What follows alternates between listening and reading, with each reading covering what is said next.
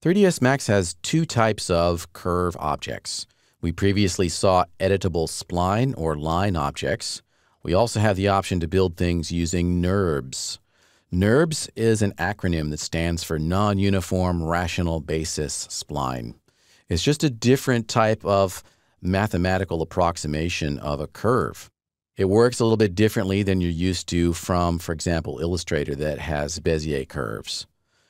And with NURBS objects, you can construct surfaces directly from curves all in the same object. And that's how this fancy side table was modeled. We're not going to model the entire thing from start to finish. I'm just going to show you the basics of how it works. If you want to go deeper into NURBS modeling, take a look at my other course, 3ds Max 2016 Essential Training, in which we model this object from start to finish. Here, I just want to show you the basics of how NURBS objects work in Max. I'll select that base, and as soon as I do that, this little NURBS panel appears. This allows us to create points, lines, and surfaces. But we can also do all of the same things from the Modify panel. So this little toolbox here is optional. As you can see, we have different sub-object types here for a NURBS surface.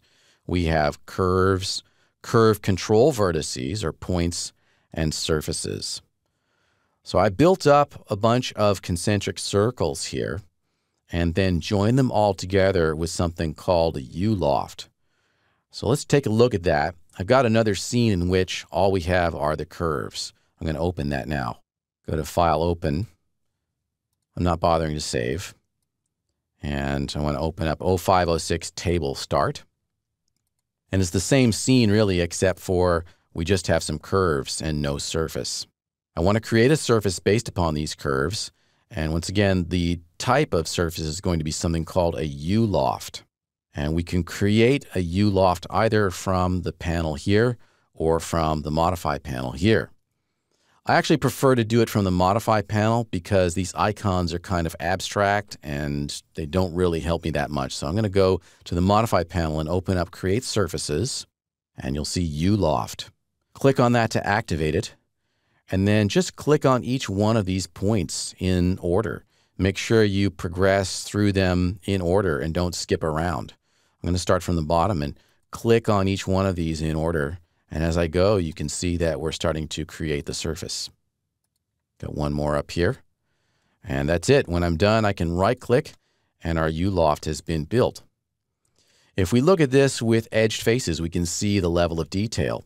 I'll press F4 on the keyboard and we can see the actual polygon approximation. We're done with our U-loft tool, so we can right click to exit out of that and just quickly look at how to control the level of detail for a NURBS surface. And that's done by going to the surface approximation rollout here.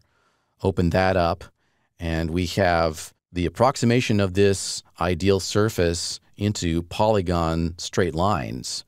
And we have controls for the viewport and the renderer. And they're two separate settings. And this lock button may confuse you. The lock button does not lock the viewport settings and the renderer settings. They're always separate. If I want to see exactly how it's going to render, I actually have to manually set the viewport settings and the renderer settings to identical settings. All right, so I've got viewports active now, which means that if I make some changes down here, I can actually see what that's doing. I've just increased the U and V steps to 2 and 2 using this parametric method. There are other methods of tessellation or dividing the surface up into polygons and you can look in the 3ds Max documentation to see exactly what they all do. Right now, we can just quickly switch over to some of these and see what happens. If I use spatial method, then I can determine the maximum length of an edge. And as I reduce that edge amount, the edges become smaller and the object becomes more detailed.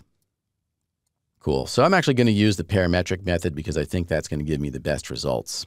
That's just a really quick overview of how NURBS surfaces work in 3ds Max.